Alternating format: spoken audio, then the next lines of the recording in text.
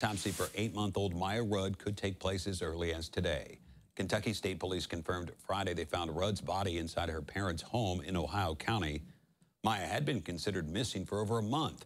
So far, eight people have been arrested linked to the investigation, but four people are actually charged in connection to her death. The autopsy will take place at the state medical examiner's office in Louisville. And three of the four people facing charges in connection to Miya's death will be in court today.